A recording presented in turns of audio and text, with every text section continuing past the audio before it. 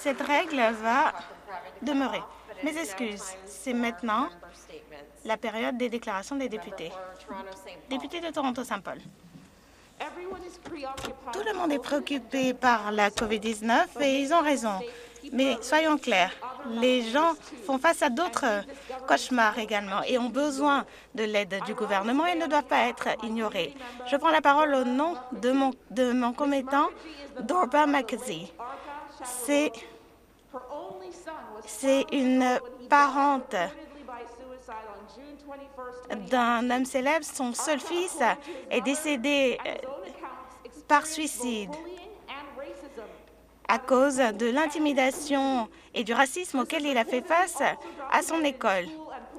Cela a été documenté euh, dans les records de, de l'école et dans les trouvailles de la police. J'ai écrit au ministre de l'Éducation ainsi qu'à la solliciteur générale et au ministre des Services communautaires et je n'ai eu aucune réponse.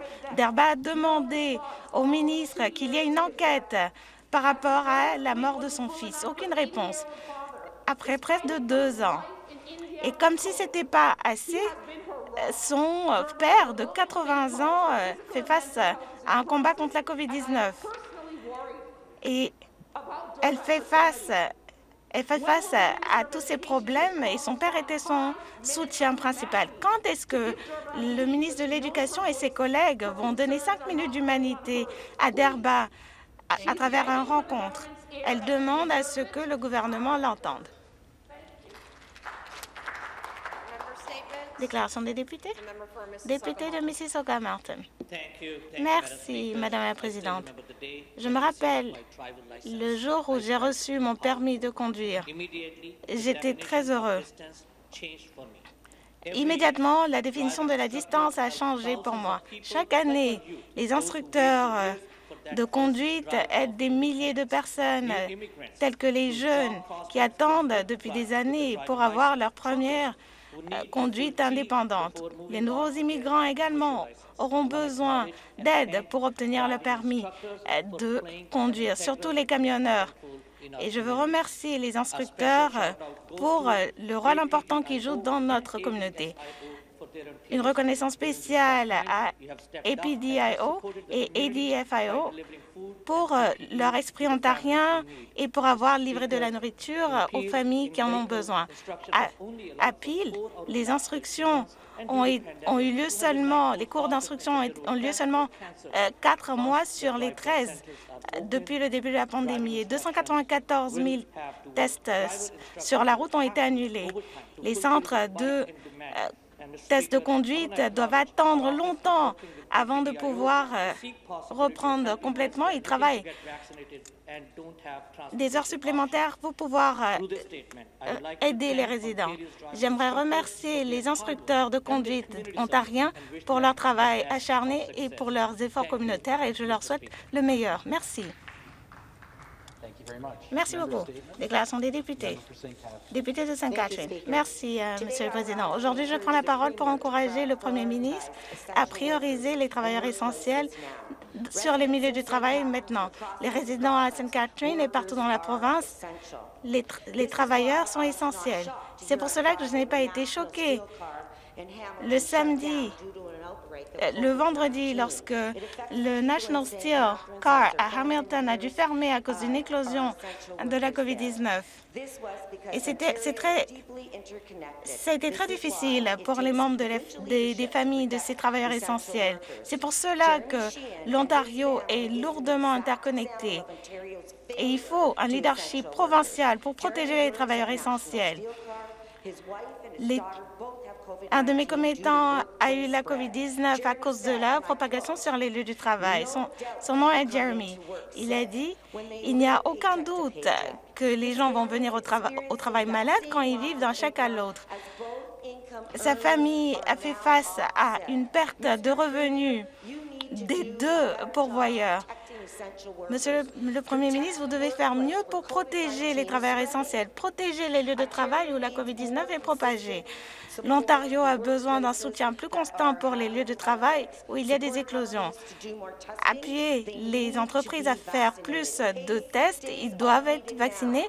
Les congés maladie payés sont nécessaires maintenant. Ce dont on n'a pas besoin, c'est une autre annonce inutile. Écoutez la table de la table consultative de la COVID-19 et non pas vos employés personnels. C'est votre travail de protéger les travailleurs essentiels et leurs familles. Merci. Nous avons ensuite le député de Scarborough Agincourt. Merci, Monsieur le Président. En tant que le petit-fils d'un survivant du génocide arménien. C'est un honneur et un, devoir pour moi de commémorer le 106e anniversaire du génocide arménien. En tant qu'officier représentant élu et canadien, je suis fière de la solidarité que j'ai ressentie des gens de l'Ontario et du tout le Canada lorsque j'ai discuté du génocide arménien et comment les Canadiens ont aidé les Arméniens de 1915. Pendant ces temps difficiles, le peuple arménien a bénéficié de la générosité des Ontariens et des Canadiens qui leur ont fourni de la fortitude morale. Spécifiquement, cela a commencé avec les efforts pour immigrer 120 euh, orphelins au Canada à travers la ville de Georgetown en Ontario. Et je suis reconnaissant à l'Assemblée fédérale ainsi qu'aux différentes branches exécutives, les provinces de l'Ontario, le Québec, la Colombie-Britannique, l'Alberta, pour avoir défendu euh, la justice et avoir reconnu ces preuves irréfutables historiques et pour avoir euh, appliqué les valeurs canadiennes et les traditions canadiennes. Euh, le peuple arménien a besoin d'aide et de clôture par rapport à ces, toutes ces blessures relatives au génocide. Les Arméniens aimeraient mettre loin derrière eux ce, chapitre tragique. Et merci encore à tous les Ontariens qui ont partagé avec nous ce jour solennel pour commémorer tous ceux qui ont perdu leurs proches. Merci. Déclaration des députés. Député de Scarborough Merci. C'est un honneur pour moi de prendre la parole à la Chambre pour reconnaître les efforts importants de Sima David, qui est la fondatrice de The Five and Twin Kitchen. Et c'est une héroïne locale dont les efforts ont fourni des services essentiels dans ma circonscription. FEMA a émigré au Canada en 2007 et alors qu'elle travaillait pour euh, se bâtir une vie pour elle et sa famille, elle a remarqué qu'il y avait de l'insécurité alimentaire et des, personnes sans abri à Scarborough. Elle voulait aider et pour faire la différence dans sa communauté, elle a créé une organisation en 2013. Scarborough est aux prises avec l'insécurité alimentaire et cela même avant la pandémie. La pandémie a exacerbé la pauvreté et la, faim. Nous avons une augmentation de 51% dans les cas d'insécurité alimentaire et d'itinérance. Il y a 26 agences qui ont été créées pour régler ces problèmes. La la deuxième cuisine qu'elle a créée a vu une hausse de 1300 à 3500 repas par semaine. Ces efforts caritatifs qui ont été lancés ont permis d'aider les résidents. À tous les bénévoles, je vous dis merci. Merci aux 417 000 repas que vous avez fournis à nos communautés depuis 2013 et merci pour vos efforts continus à nos résidents.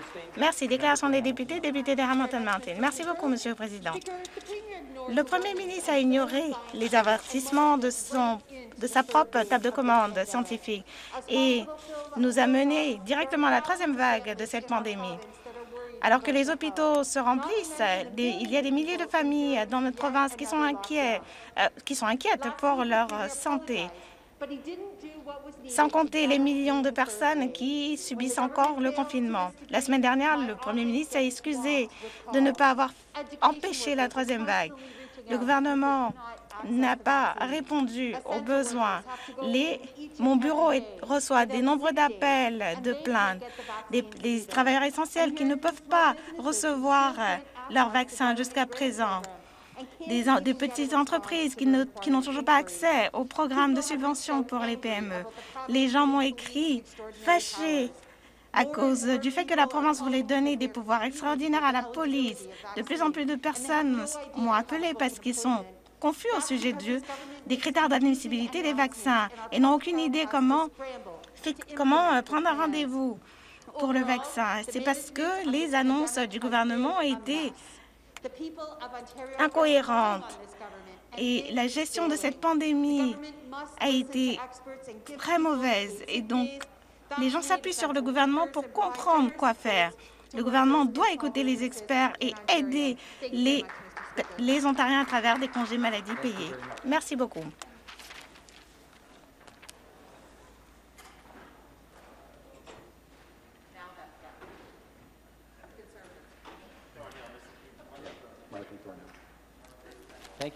Merci.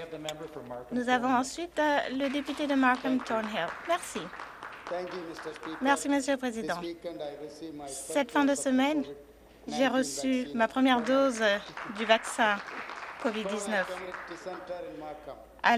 au centre communautaire euh, Corna de Markham. J'aimerais prendre un moment pour remercier le médecin qui m'a administré le vaccin et tous les bénévoles tous les travailleurs qui ont permis euh, de rendre ce processus sans pépin.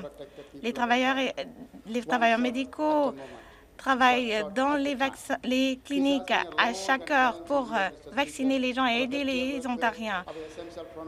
Un vaccin à la fois. Ça a été une année très difficile pour nos euh, travailleurs, pour des professionnels de la santé qui ont mis leur vie en danger à chaque jour pour nous protéger. Maintenant que j'ai reçu mon vaccin, je vois à quel point c'est difficile pour eux à chaque jour pour essayer de nous faire voir une lueur à la fin du tunnel. À tous mes commettants et aux personnes partout dans la province, je vous encourage de vous faire vacciner une fois que votre tour arrive.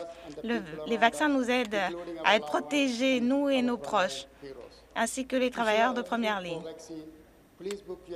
Si vous êtes euh, si votre tour de vaccin arrive, allez sur le site Web pour pouvoir euh, prendre votre rendez-vous ou, ou appeler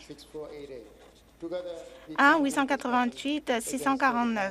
Ensemble, nous pouvons lutter contre la COVID-19. Merci.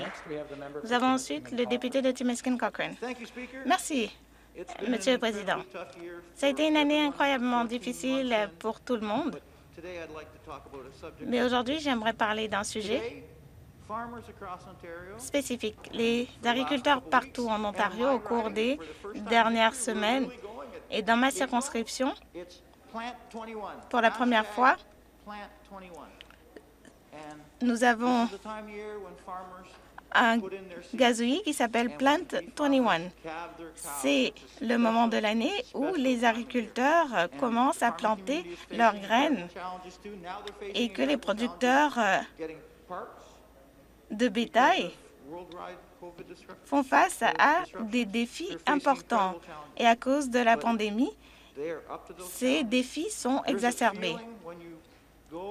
Mais malgré ces défis, il y a un sentiment qu'on a dans son cœur quand on commence à planter ces graines le premier jour. Et je sais que les politiciens vont, vont savoir de quoi je parle. C'est le sentiment, c'est un sentiment similaire au premier jour de la campagne.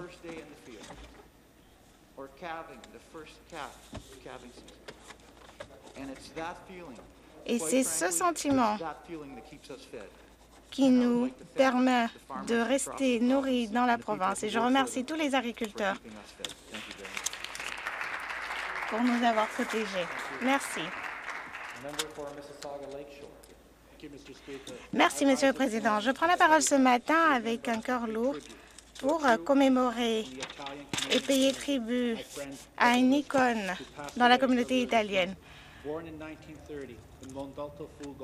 Mon ami Dolph Lista, qui est décédé plus tôt, cette, plus tôt ce mois-ci.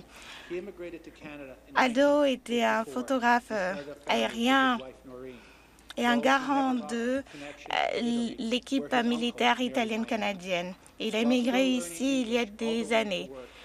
Alors qu'il continuait d'apprendre l'anglais pendant qu'il travaillait,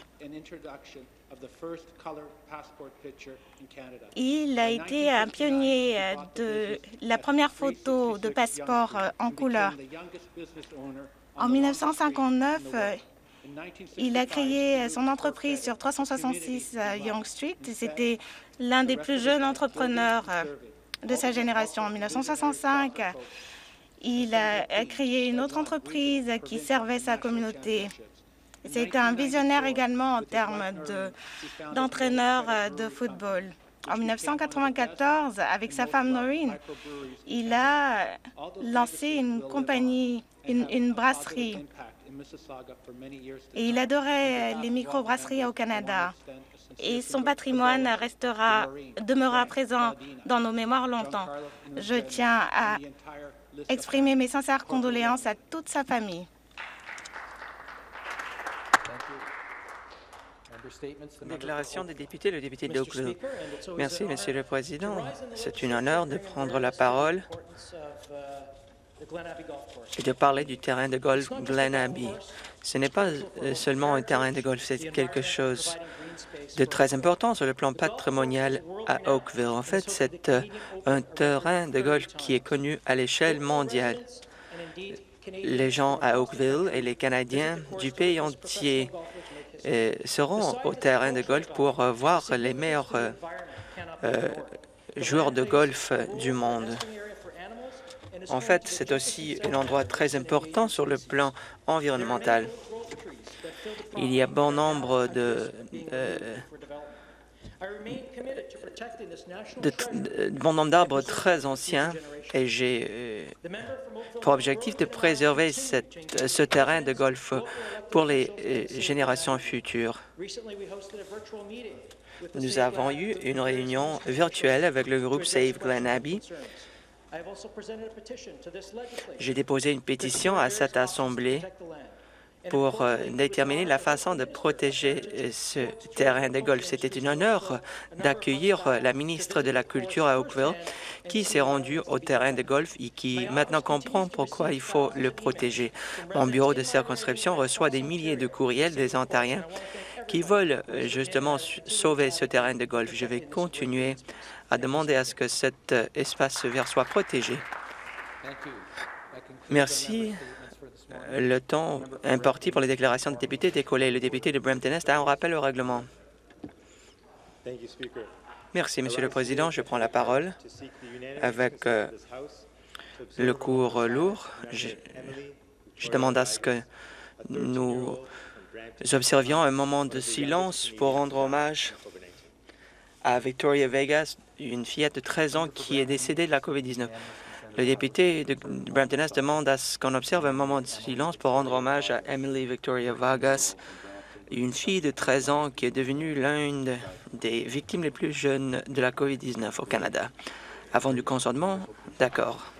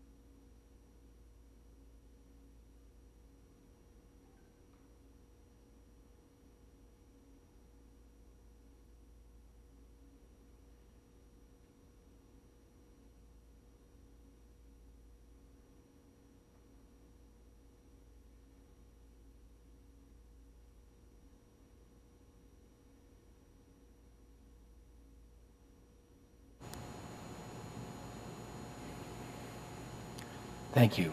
Merci. Rasseyez-vous, s'il vous plaît. Le député de Don Valley Est informed me that he has a un rappel au règlement. Monsieur le Président, je demande le consentement unanime pour déposer une motion sur l'adoption immédiate euh, du projet de loi 24 sur euh, les congés et maladies d'urgence. Le député de Don Valley Est demande le consentement unanime de la Chambre pour faire adopter immédiatement 247. le projet de loi 247. Avant du consentement, non.